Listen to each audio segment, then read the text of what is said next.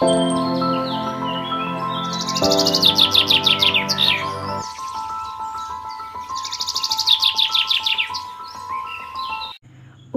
back to my channel শুভ সকালের শুভেচ্ছা আমার সকল বন্ধুদের। তোমরা সবাই কেমন আছো? আশা করি খুব ভালো আছো আর আমিও খুব ভালো আছি। তাই আজ সকাল সকাল একটা অন্যরকম ব্লগ তোমাদের সাথে শেয়ার করব। আশা করি তোমাদের ভালো লাগবে। আর ভালো লাগলে please like, comment and share করতে ভুলো না। আর যদি চ্যানেলে নতুন হয়ে থাকো, তাহলে প্লিজ প্লিজ সাবস্ক্রাইব করে পাশে থাকার অনুরোধ রইল। তো চলো আজ সকাল থেকে যা যা করছি দেখতে থাকো। তো আজ আমি সকাল সকাল উঠেও গেছি, কারণ আজকে দিনে আমার কোনো রেস্ট হয় না। তো সকাল সকাল উঠে প্রথমে যে কাজটা করে থাকি, সেটা তোমরা সকলেই কম বেশি জানো, নিজেকে ফ্রেশ রাখা। প্রথমে আমার সেই আয়না বন্ধুর কাছে যাই, যে আয়না বন্ধু আমাকে আমাকে ক্লিন রাখতে সাহায্য করে। তো সেখান থেকে ফ্রেশ হয়ে ড্রেস চেঞ্জ করে চলে এসেছি নতুন ব্লগ শুরু করতে। বলাই বাহুল্য আজ শনিবার। আর শনিবার মানে আমার কাছে একটা সেকেন্ডের জন্য সময় নেই। তো চলো, তো শুরুতে দেখতে পাচ্ছ আমার মেয়ে আমার সাথে দুষ্টুমি করতে শুরু করে দিয়েছে। ও কিন্তু এরকম আমার কাজের মধ্যে এসে এসে বিরক্ত করবে যাতে আমি একটু আদর করি। ও আদর খেতে ভীষণ ভালোবাসে, যেরকম হয় নর্মালি বাচ্চারা। তো যাই হোক, ওকে আমি বললাম ব্রাশটা করে এসো। আমি যেহেতু ঘুম থেকে উঠে ব্রাশ করে ফেলেছি আর ওকেও আমি ড্রেস পরিয়ে দিয়েছি, শুধু ব্রাশটা করা বাকি। সেটা আগে করে, তো আজকে একটু পরে হয়ে গেছে। আর আমি বিছানাটাকে ঠিকঠাক করে গুছিয়ে নেব। তো আমার বন্ধুদের জানার নিশ্চয় কৌতূহল আছেই যে আজ কেন এত ব্যস্ত? কেন বললাম যে শনিবার মানে আমার কাছে এক সেকেন্ডের জন্য সময় নেই। তো চলো আমি সবটাই তোমাদের সাথে শেয়ার করব আর তার জন্য পুরো ব্লগটা দেখতে হবে স্ক্রিপ্ট না করি তো বন্ধুরা, তোমরা দেখতেই পেলে আমার বিছানা গোছানো হয়ে গেছে আর আমি এখন হারমোনিয়াম বের করব। তো হারমোনিয়াম নিয়ে কী করব? আমার মেয়ে গান শেখে, তো সেই জন্যই তোমরা অনেকেই জানো কম বেশি, তাও আমি আরেকবার রিপিট করলাম। তো মেয়ে গান শেখে, তাই সকালবেলা রেওয়াজ করবে বলে আমি হারমোনিয়ামটাকে সেট করে রাখছি, যেহেতু ব্রাশ করতে গেছে আর এসে কিছু খাইয়েই ওকে আমি গানে বসিয়ে দেব। তো আমার খুব ইচ্ছে ছিল নিজে গান শেখার সেই সৌভাগ্য তো হয়নি, কারণ অনেক কারণ ছিল। তো যাই হোক, এখন মেয়েকে দিয়ে সেই স্বপ্ন পূরণ করব। তো জানি না সেটা কত দূর সম্ভব হবে। তো এই ইচ্ছা আছে আর এগিয়ে যাচ্ছি। আর তোমরা শুনতে পাবে মেয়ের গান। তো চলো। আর যেটা করছি এখন দেখতে পাচ্ছ টাওয়াল দিয়ে আমি হারমোনিয়াম হারমোনিয়ামটাকে চাপা দিয়ে রাখছি যাতে না কোনো ছোট ছোট ইঁদুর বা পোকা যাতে না হারমোনিয়ামের ভেতরে চলে যায়। চলে গেলে অনেক সময় পোকামাকড় পিঁপড়ে তাতে রিডের ক্ষতি হয় তো যার জন্য আমি চাপা দিয়ে রাখলাম। আর চাপা দেওয়ার পরেই আমি চলে আসলাম একটু ঘর বারান্দা ঝাঁটাবো। কারণ আমাদের কাজের দিদি একটু বেলা করে আসে, সকালবেলা আসে না। মানে খুব সকালে আসে না, ওই দিদির অন্য একটা বাড়ির কাজ থাকে। তো আমি একটু এগিয়ে রাখি কাজগুলো। আর যে বালতিগুলো তুলছি সেটা হলো আমাদের পাখির। যেহেতু তোমরা দেখেছ হয়তো বা আগে ব্লগে দেখতেই পাবে যে আমাদের পাখির বিজনেস আছে। মোটামুটি আমার কাজ কমপ্লিট আর এদিকে এসেই দেখছি মেয়ে পুতুল নিয়ে খেলা করছে। তাহলে কি করতে হয় মানে লক্ষ্মী মেয়ের মতো? এটি গানের রেওয়াজ করে দাও তখন থেকে খুলে বসে আছি। যাও করে নাও। আমি একটু জামা কাপড় গুছিয়ে নিয়ে তোমার গানও শুনে নেব। এক কাজে দুই কাজ হয়ে যাবে। সুন্দর করে রেওয়াজ করবে ক্লাসের সময় যেন। ম্যাম খুব খুশি হয়। ঠিক আছে? স্টার্ট কর।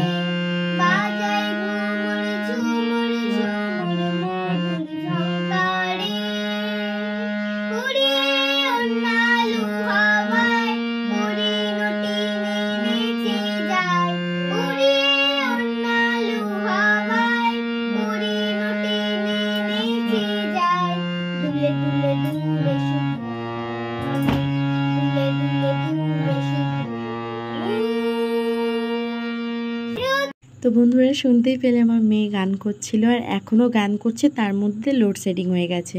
তাই আমি আমার জামা কাপড় যেগুলো ছিল মোটামুটি সব ভাঁজ করে রেখে দিলাম গুছিয়ে। আর এদিকেও গানে রেওয়াজ করছে, কারণ ও যেহেতু গানটা নতুন তুলেছে, তাই কিছু ভুল ভ্রান্তি হচ্ছে। আর সুরের একটু গণ্ডগোল হচ্ছে, যেটা আমি কানে শুনে যেগুলো ম্যাম আমাকে বলে, সেগুলো আমি নোট করে রাখি। তো মোটামুটি ওকে উৎসাহিত করার জন্য আমি তালি দিলাম, একটু আদর করছি যাতে ও গানের প্রতি আরও ভালোবাসা দিয়ে করতে পারে আর এনার্জি লস না হয় আর মন দিয়ে সেটা ভালোবেসেই করে। যেহেতু আমি একজন গৃহবধূ আর তার পাশাপাশি মা, তাহলে কর্তব্য আমার দুদিকেই রয়েছে। মেয়েকে গানের রেওয়াজে বসিয়ে দিলাম। আর আমার তো সম্ভব না। আমি সারাক্ষণ মেয়ের পাশে বসে থেকে ওকে আমি সাহায্য করব। তাই আমি ভাবলাম, আমার কাজও করতে হবে। মেয়েকে ঘরে বসিয়ে দিলাম আর দরজা খুলে দিলাম যাতে ওর যা ভুল করছে, যে গানই করছে, সেই ভুলগুলো আমার কানে আসে আর আমি ওকে সঠিক বলে দিতে সাহায্য করতে পারি। তো তোমাদেরকে বলে রাখাই ভালো, আমাদের বাড়ি না সবজি খুব খুব কম খাওয়া হয়। আর এই যে শাক দেখতে পাচ্ছ, এটা হয়তো গুনে গুনে দুজন থেকে তিনজন খাবে। যেমন খাওয়ার মধ্যে আমার মেয়ে খেতে ভালোবাসে, আর আমি খাব, আর সঙ্গে আমার ভাগ্নি খাবে। আমার ভাগ্নি আর আমি একটু সবজি খেতে ভালোবাসি, আর বাদ বাকি সবাই মাংস, মাছ মানে এরকম একদম কষা কষা, ঝাল এরকম টাইপেরই খেতে পছন্দ করে। তাই শাশুড়িমাকে বলেছিলাম, তো মা এনে দিয়েছে শাক বাজার থেকে কিনে আনা না, হাতে তোলাই শাক এনে দিয়েছে। তো আজকের মেনুতে রয়েছে মাছের ঝাল, আর ডাল মাস্ট হবেই, আমাদের বাড়িতে ধরা বাঁধা হবেই। আর ডালের সঙ্গে রয়েছে বেগুন ভাজা, আর এদিকে শাক ভাজা। এবার চলো মেয়ে কি করছে দেখে নিই। তো দেখো মেয়ে বসে পড়েছে এখনও করবে পড়াশোনা।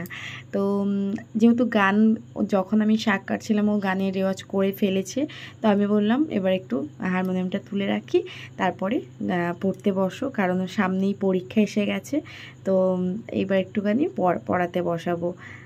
আমি জানি আজকের ভয়েস ওভারটা একটু বেশি হয়ে যাচ্ছে, কারণ আমাদের বাড়ির পাশে একটা কাজ চলছে মানে তাদের বাড়ি খুব মেশিনের শব্দ হচ্ছে, যার জন্য আমি কিন্তু ভয়েস ওভার দিতে বাধ্য হচ্ছি। আমি নিজে অরিজিনাল যে ভয়েস সেটা কিন্তু শোনাতে পারছি না, দুঃখিত খুব। ছোটোবেলায় মা ঠাকুমাদের থেকে শুনেছি, মা হওয়া তো মুখের কথা না, মা হলেই বুঝতে পারবে যে কতটা দায়িত্ব থাকে আর সংসার মানে সংসার।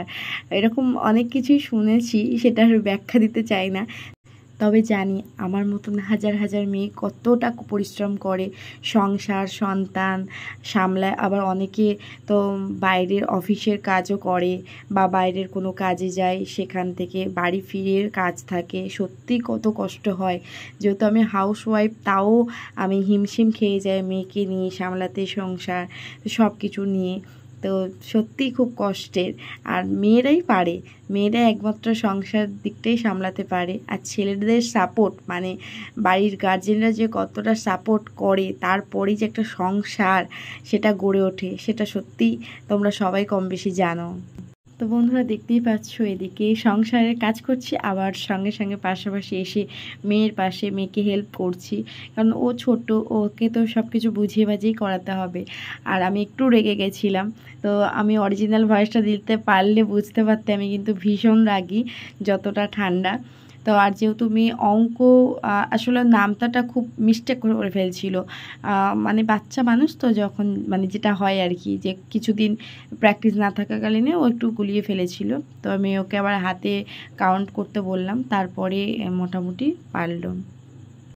আমার মেয়ে ভীষণ চঞ্চল, জানো তো? একটা জায়গায় স্থিরভাবে বসে থাকে না। ক্যামেরাটা সেট করা বলেই কিন্তু ও তাও ভদ্রভাবে রয়েছে। এদিকে ক্যামেরার দিকে বারবার তো তাকাচ্ছিল, অনেকবার তোমরা দেখতেই পাবে ভিডিওর মধ্যে।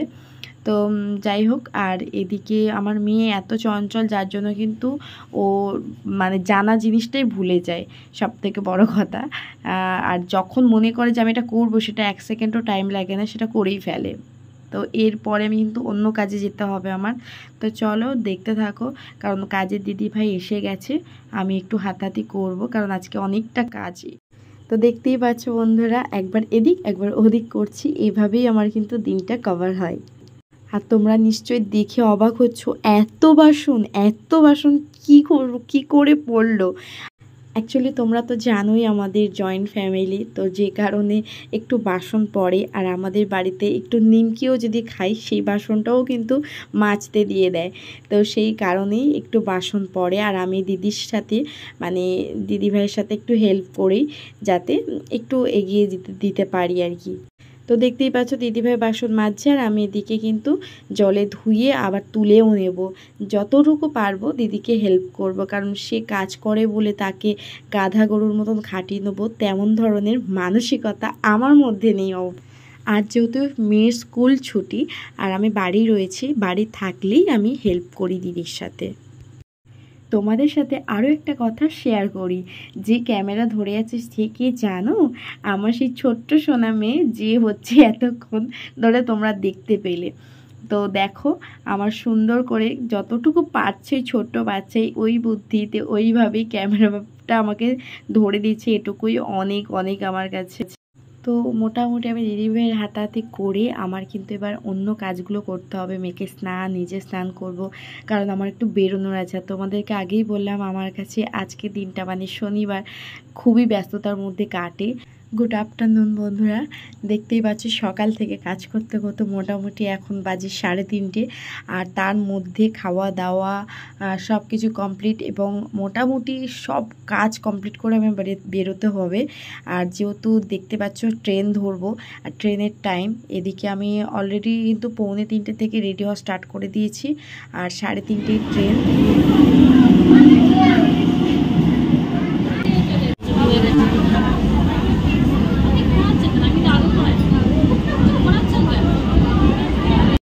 জানো তো বন্ধুরা, একদিকে আমার খুব ভালো সুবিধা, আমাদের বাড়ি থেকে ঠিক স্টেশন আসতে পাঁচ মিনিট লাগে। তো যাই হোক, আর ট্রেনে দেখতে পাচ্ছ, খুব যে ভিড় হয়েছে তা নয়। আর এদিকে আমার মেয়ে রয়েছে, জল খাবে বলছিল। তো তারপরে একটা স্টেশন, যেহেতু আমাদের বাড়ি থেকে আর সোনারপুর আসতে একটা স্টেশন, তো সেই জন্য নেমেও গেছি। দু মিনিটও লাগ, লাগে না ট্রেন পথে আর কি। তো সোনারপুর গেলে আমরা কিন্তু মাস্ট সিঙ্গারা খাই। মানে বেশিরভাগ সময় খাই। এবারে যখন ইচ্ছে হয় না বা অন্য রাস্তা দিয়ে আসে তখন খাওয়া হয় না। তো খেতে খেতে মেয়েকে নিয়ে যাচ্ছি এখন ড্রয়িং ক্লাসে তো ও ড্রয়িং ক্লাস আছে সাড়ে চারটে। আর আমার যেহেতু ট্রেন পথ, তাই আমার একটু তাড়াতাড়ি বের হয়েছে। আর আমি যেহেতু হাতে সময়ও থাকে দশ পনেরো মিনিট, তাই মেয়েকে নিয়ে একটু দাঁড়িয়ে একটু ওর সাথে মজা করছিলাম ফটো তুলছিলাম। তারপর ফুলগুলো কি সুন্দর লাগছে। আর আর প্রকৃতিকে বেশ ভালোই লাগে কাছ থেকে। তো মোটামুটি টাইমও হয়ে গিয়েছে তো আমি এখন যাচ্ছি মেয়ের ক্লাসে ঢুকিয়ে দিয়ে যাব গানের ক্লাসে তারপর থাকবে তবলা ক্লাস তারপর আমি বাড়িতে ফিরবো ঠিক সাড়ে নটা নাগাদ কিংবা দশটাও হয়ে যায়। যেহেতু অনেক রাত হয়ে যায়, এতগুলো ক্লাস করতে হয়, তার জন্য আমার হাজব্যান্ড বাইকে করে আসে নিতে আমাদের। তো মেয়ে যখন ড্রয়িং করে নর্মালি আমি ভিডিও করি, কখনো রিলস বানাই বা কখনো আমি হয়তো ভিডিও এডিটিং করি, যে কাজগুলো ঘরে বসে করা যায়, সেটা হচ্ছে আমি এখানে এসে ফ্রি টাইমে বসেই করি টাইম পাস করি এইভাবে। তো দু ঘণ্টা লাগবে মেয়ে ক্লাস তারপর গানের ক্লাসে গেলে আর ফোনটা সময় হয় না যে ইউজ করার জন্য। তো বন্ধুরা, তোমাদের আজকে কেমন লাগল আমার ভিডিও যদি ভালো লাগে প্লিজ লাইক আর তার সাথে কমেন্ট করতে ভুলো না। দেখা হবে নতুন কোনো ব্লগের সাথে। ততক্ষণ ভালো থাকবেন, টাটা।